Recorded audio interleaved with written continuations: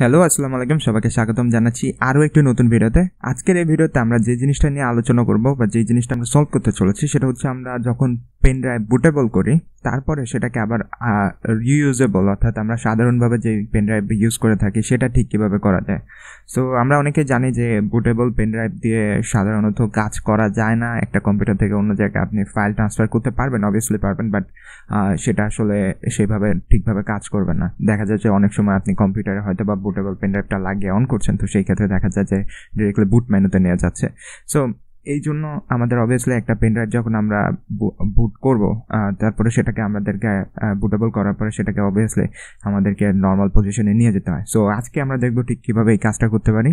So first of all আমি যে কাজটা করব যে আমার যে বুটেবল পেন ড্রাইভ যেটা রয়েছে, যেটাকে আমি রিফিউজ দিয়ে বুট করেছিলাম, সেটাকে আমি আমার কম্পিউটারে ইনপুট করছি। সো এই মুহূর্তে দেখতে পাবেন যে আমি যখন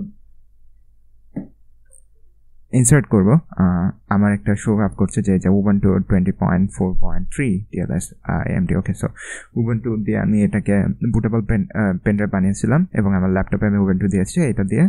সো এইবার যে কাজটা করব, সেটা হচ্ছে এই জিনিসটাকে আমি প্রথমে দেখাচ্ছি আপনাদেরকে। এই যে যে one two twenty point four point এত এবং রুফেসের যে আইকনটা রয়েছে সেটা, অর্থাৎ এটা একটা বুটেবল পেন ড্রাইভ রয়েছে ওকে সো এই পেন ড্রাইভটাকে আমাদেরকে আনবুট করতে হবে। আপনারা অনেকেই যে কাজটা করে থাকেন যে আমরা সব ফাইল সিলেক্ট করে তারপরে ডিলিট করে দেয় এবং সেটাকে আনবুট করে আই মিন নর্মাল ইউজের জন্য ব্যবহার করার জন্য মনে করে থাকে যে হ্যাঁ আমাদের এটা হয়ে গেছে বাট অ্যাকচুয়ালি সেটা কিন্তু কাজ করে না। তো প্রথমে যে কাজটা করতে হবে সেটা হচ্ছে আমাদেরকে এটাকে এইখান থেকে আপনি চাইলে ফরম্যাট করতে পারেন। আমি সেই কাজটা করব না, আমি ডিরেক্টলি আমাদের সিএমডি দিয়ে করব। সো আমি প্রথমে যে কাজটা করতে হবে আমি বড় করে নিচ্ছি স্ক্রিনটা যাতে করে বুঝ, বুঝতে সুবিধা হয়। ধরেন আপনি হচ্ছে কমান্ড প্রম দিয়ে কোনো একটা ডিস্কের যে লোক ডিস্ক যতগুলো রয়েছে সেগুলোর আপনি অ্যাক্সেস নিতে চাচ্ছেন এবং সেগুলোকে আপনি ডিলেট বা ক্লিন করতে চাচ্ছেন, তো সেই জন্য যেই কমান্ডটা ইউজ করতে হবে সেটা হচ্ছে ডিস্ক পার্ট ডিআইএসকে পিএআরটি এবং যখন আপনি এটা ব্যবহার করবেন তখন দেখা যাবে আপনি যখন এন্টার দেবেন, আপনার সামনে একটা প্রম্পট শো করবে যে diskpart Windows verified publisher Microsoft Windows yes করে দেবেন এটাকে। তাহলে আপনার দেখবেন যে ডিসপার্টের যে কমন সেকশনটা রয়েছে, সেটা রান করবে। সো এইবার দেখতে পাচ্ছেন যে আমাদের কাছে আগে একটা রয়েছে, সেটা হচ্ছিল ইউজার সিগমা এবং এইবার কিন্তু দেখতে পাচ্ছেন ডিস পার্টিশনে গিয়ে আমাদের কিন্তু এই সিএমডিটা রান হচ্ছে, অর্থাৎ কমান্ড প্রম্পটা রান হচ্ছে। সো এবার যে কাজটা করতে হবে, সেটা হচ্ছে আমাদেরকে ডিস্কের লিস্ট নিতে হবে, অর্থাৎ আমরা দেখব যে আমাদের কোন কোন ডিস্ক এটার সাথে কানেক্টেড রয়েছে আমাদের কম্পিউটারের সাথে। সো এটার জন্য লিস্ট ডিস্ক দিয়ে আমরা যদি এন্টার দিই, তাহলে দেখতে পাচ্ছেন যে এইখানে আমাদেরকে দুটো ডিস্ক দেখাচ্ছে। একটা হচ্ছে আমার যে হার্ড ড্রাইভ রয়েছে, যেটা হচ্ছে ওয়ান টেরাবাইটের বাট কিছু ফাইল আমাদের জন্য রেস্টোরেশন ফাইলের জন্য কিছু অংশ আলাদা করে কম্পিউটার রেখে দেয়, যেটাকে আমাদের শো করে না। কিন্তু এটা কিন্তু এক হাজার চব্বিশ জিবির একটা হার্ড ড্রাইভ সো আমরা এটাকে করব না অবভিয়াসলি অবভিয়াসলি সিলেক্ট করার সময় বারবার আপনি দেখে নেবেন যে আসলে কোনটাকে সিলেক্ট করছেন। সো আমরা সিলেক্ট করব ডিস্ক ওয়ানকে তো এই জন্য যেটা করতে হবে সিলেক্ট ডিস্ক ওয়ান দিতে হবে। আবার দেখে নেবেন যে আপনি ডিস্ক ওয়ান আর ডিস্ক জিরো সিলেক্ট করছেন। অবভিয়াসলি ডিস্ক ওয়ান সিলেক্ট করবেন বিকজ হচ্ছে হলো আপনাদের চোদ্দ জিবি যে পেন ড্রাইভটা আমি দেখছি সেটা। আপনাদের ক্ষেত্রে ডিস্ক থ্রি বা ফোরও থাকতে পারে। এসএসডি যদি আপনাদের থাকে তাহলে ডিস্ক ওয়ানে যে এসএসডি থাকবে বা মেইন যে ড্রাইভটা থাকতে পারে এক্সটার্নাল ড্রাইভ থাকতে পারে। সো সেই ক্ষেত্রে অবভিয়াসলি আপনারা ভলিউম দেখে নেবেন যে কোন ভলিউমটা আপনি আসলে ক্লিয়ার করতে চাচ্ছেন। সো আমি সিলেক্ট করছি লিস্ট ওয়ান দিস ওয়ান একটা স্পেস হবে এবার দেখতে পাচ্ছেন যে সিলেক্ট হচ্ছে ডিস্ক ওয়ান অবভিয়াসলি আবার দেখে নেবেন, এখানে যে অনুসারে দেওয়া রয়েছে ডিস্ক স্পেস তারপরে ওয়ান দেওয়া। আমি প্রথমে ডিস্ক স্পেস দিইনি, সেই কাজটা ভুল হয়েছে, যার কারণে বলে দিয়েছে যে আসলে ডিস্ক কীভাবে সিলেক্ট করতে হবে। সো এই ক্ষেত্রে দেখতে পাচ্ছেন যে সিলেক্ট আমি দিয়েছিলাম, তারপরে স্পেস দিয়েছিলাম, তারপরে ডিস্ক তারপরে স্পেস তারপরে আবার ওয়ান দিয়েছে। অবভিয়াসলি সো এইভাবে আপনারা ডিস্ক ওয়ান সিলেক্ট করে নেবেন বা যেই ডিস্কে আপনাদের পেন ড্রাইভটা রয়েছে সেটা সিলেক্ট করে নেবেন। এবার আমি যেই কাজটা করব সেটা হচ্ছে ক্লিন ক্লিন এবং এন্টার দেওয়ার সাথে সাথে ডিস্ক ওয়ান সিলেক্ট করার পরে সেটা অটোমেটিক্যালি ক্লিন হয়ে গেছে যখন আমরা ক্লিন কমান্ড রান করেছি। সো এই ছিল আমাদের কমান্ড প্রমের কাজ। এবার আমি এক্সিট করে দেবো। আপনারা ডিরেক্টলি ক্লোজও করে দিতে পারেন বাট সবসময় প্রেফার্ড করবেন যে এইখান থেকে এক্সিট করছেন। That's actually good kind of practice okay so এটা তেমন কিছু না। সো এবার আমি যদি দেখাই যে আমাদের পেন ড্রাইভটার আসলে কী অবস্থা। স্টিল কিন্তু এই জিনিসটা আছে, কিন্তু এবার দেখতে পাচ্ছেন, যখন আমি এইটাতে ক্লিক করছি, তখন দেখতে পাচ্ছেন প্লিজ ইনসার্টেড ডেক্স ইন্টু উবানটা এত। আসলে লোকেশনটা দেখাচ্ছে, কিন্তু আনঅ্যালোকেটেড অবস্থায় রয়েছে আমাদের পেন ড্রাইভটা অর্থাৎ এই জিনিসটা আমাদের ধরছে কম্পিউটার ধরতে পারছে যে ওকে ব্রো এটা একটা disk external disk but they are not getting that which type of disk is that okay so unallocated অবস্থায় আমাদের স্টোরেজটা রয়েছে। এবার আমাদেরকে এই জিনিসটা লোকেটেড করতে হবে। সেই কাজটা করার জন্য যে উইন্ডোজ আইকনটা আসে সেভাবে রাইট ক্লিক করবেন এবং দেখতে পাবেন যে আমাদের কাছে ডিস ম্যানেজমেন্ট নামের একটা অপশন আছে। সো আমি যদি এইখানে চলে যাই, দেখবেন যে একটা প্রম্পট ওপেন হবে। একটা ডিস্ক ম্যানেজমেন্টের যে সফটওয়্যার রয়েছে, সেটা ওপেন হবে। এইখানে দেখতে পাচ্ছেন যে চোদ্দ জিবি আমাদের কাছে আনঅ্যালোকেটেড অবস্থায় রয়েছে। সো এই জিনিসটাকে আমাদেরকে সিম্পল ভলিউমে পাতে হবে। সো কী করব? সেটাকে রাইট ক্লিক করব। তারপরে দেখতে পাচ্ছেন নিউ সিম্পল ভলিউম এইটাতে যখন ক্লিক করব,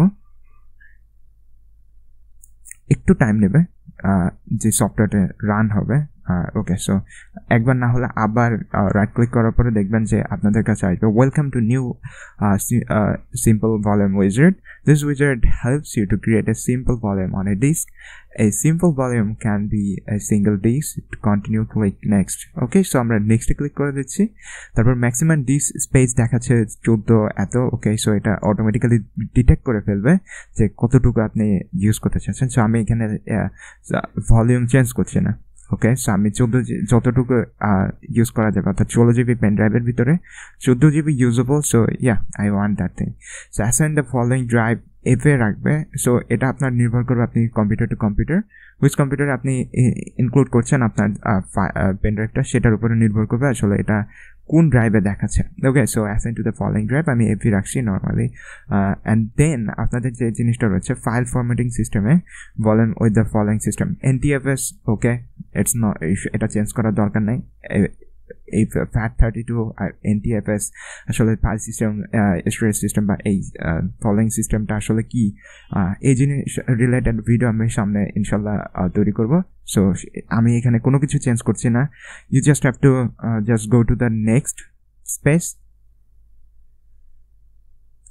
এবং তারপরে দেখতে পাচ্ছেন ওকে সো প্যাকেজে আমি যদি আপনার আরেকটা জিনিস দেখাই, যে ভলিউম লেভেল ওকে এখানে নিউ ভলিউম লেখা আছে। আপনারা চাইলে কিন্তু পেন ড্রাইভের নাম এখান থেকে দিয়ে দিতে পারেন। যেমন সো এই হচ্ছে আমার নর্মালি আমি সব জায়গায় ইউজার নেমটা ইউজ করে থাকি সিগমা গেপ আর ড্রাইভ ওকে সো নেক্সট আমি যে কাজটা করব সেটা হচ্ছে preferred quick format enable and file folder compression no আমি এটা এনাবল করছি না। নেক্সট আমি চলে যাচ্ছি। এবং এইবার যেটা দেখতে পাচ্ছেন যে আপনার কাছে পুরো যেই যে জিনিসগুলো আপনি সিলেক্ট করেছেন, সেই জিনিসটার একটা একটা একটা বলতে গেলে আপনাকে ইনভয়েস দেখায় দিচ্ছে। এবং এখানে দেখতে পাচ্ছেন যে ওকে আমার ফলোয়েবল লেভেল হচ্ছে Sigma drive quick format enable রয়েছে enable file format compression no yes আমি এখানে ফিনিশ করতে যাচ্ছি। এবং এইখানে দেখতে পাবেন যে, এই যে আনঅ্যালোকেটেড জায়গাটা, এখন কিন্তু আমাদের কাছে লোকেটেড হয়ে যাবে এবং একটু পরে দেখবেন যে, এটার নাম টাম আমাদেরকে শো করছে। সো এই দেখতে পাচ্ছেন যে সিগমা ড্রাইভ আমাদের অলরেডি ইনফুটেড ওকে চোদ্দ জিবি জায়গা এনটিএফএস ফরম্যাটে আমাদের ফাইল সিস্টেম রয়েছে হেলদি প্রাইমারি প্রোটেকশন এইবার আমরা কিন্তু এটাকে জাস্ট একটু দেখে নিতে পারি যে আসলে কি অবস্থায় রয়েছে। সো এই দেখতে পাচ্ছেন আমাদের পেন ড্রাইভের নাম সিগমা ড্রাইভ দেওয়া রয়েছে। And you can use this thing create folder just আমি এখানে ফোল্ডার ক্রিয়েট করতে চাইছি। এবং এই ফোল্ডারের ভিতরে আমি যদি এখন কিছু পেস্ট করি ধরেন আমি এইখান থেকে একটা ডকুমেন্ট নিয়ে আসব স্থেরিক ভিডিও এটাই নিয়ে আসি। কপি এবং যখন আমি ফাইল ফরম্যাটে যে হ্যালো ওয়ার্ল্ডে গিয়ে পেস্ট করব এবং এটা ঠিকভাবে কাজ করছে কিনা, এটার জন্য আমি ভিডিওটা প্লে করে দেখছি আসলে কাজ করছে কিনা। ইয়াস ইটস ওয়ার্কিং এবং এটা কিন্তু এখন আমাদের পেন ড্রাইভ থেকে লোড হচ্ছে এবং আপনারা দেখতে পাচ্ছেন যে সাউন্ড শুনতে পাবেন হয়তো বা okay so it's working actually okay so এই ছিল পেন ড্রাইভের যে ব্যাপারটা। আরও একটা জিনিস সেটা আমরা ভুল করি, যে আমরা অনেক সময় পেন ড্রাইভ ধূপধাপ করে টান দিয়ে খুলে ফেলে। আসলে যে সিস্টেম ট্রেতে চলে যাবেন, তারপরে যে আইকন রয়েছে সেফলি রিমোট হার্ডওয়্যার এইখানে গিয়ে আপনি কিন্তু এই যে ইজেক্ট করতে পারেন, অথবা আপনার এই হার্ড ড্রাইভ যেটা আপনি ইজেক্ট করতে চাইছেন সেটা হচ্ছে চলে যাবেন এবং এই যে ইজেক্টে ক্লিক করে দেবেন দ্যাটস ইট হ্যাঁ এবার কিন্তু এই যে দেখেছি সিপ টু রিমুভ হ্যাঁ সিগমা কিপ ড্রাইভ এফ আমি এখন রিমুভ করে ফেলছি। এবং একটা ছোট ক্লিকি সাউন্ড দেবে। And now I can use this pen drive for any normal purpose okay so এই ছিল পদ্ধতি যেটার মাধ্যমে আপনি বুটেবল পেন ড্রাইভকে নর্মালভাবে আবার নিয়ে আসতে পারেন এবং এটাকে ইউজ করতে পারেন। এবং আমার রেকমেন্ডেশন থাকবে আপনারা যদি নর্মালি এই ধরনের কাজ সবসময় করে থাকেন, অর্থাৎ পেন ড্রাইভ দিয়ে আপনি হয়তো বা ফ্রেন্ডের কম্পিউটারে দিচ্ছেন, তো একটা নর্মাল পেন ড্রাইভ মোটামুটি ভালো মানের পেন ড্রাইভ আপনি যে ওএসটা আপনি দিয়ে থাকেন, অর্থাৎ উইন্ডোজ টেন বা উবান্টু যেটাই দিয়ে থাকেন না কেন, ওটা আপনি বুটেবল করে রাখলেন। দ্যাটস গান বি গুড থিং বাট অধিকাংশ ক্ষেত্রে আমাদের যারা নর্মাল ইউজ করে থাকি, আমাদের জন্য কিন্তু রেগুলারলি দেখা যায় যে পেন ড্রাইভ কোনো না কোনো অন্য কাজে ইউজ করতে হয়। সো সেই ক্ষেত্রে আমি মনে করে থাকি এই পদ্ধতিটা অনুসরণ করে আপনারা কিন্তু পেন ড্রাইভকে আবার আনবুট করতে পারবেন বা নর্মাল ইউজের জন্য ফিরিয়ে আনতে পারবেন। So that was the video যদি ভিডিওটি ভালো লাগে থাকে, অবশ্যই চ্যানেলকে সাবস্ক্রাইব করবেন এবং পাশে বেল আইকনটিকে বাজিয়ে দেবেন। স্টে কুল স্টে গেটিভ আল্লাহ হাফেজ।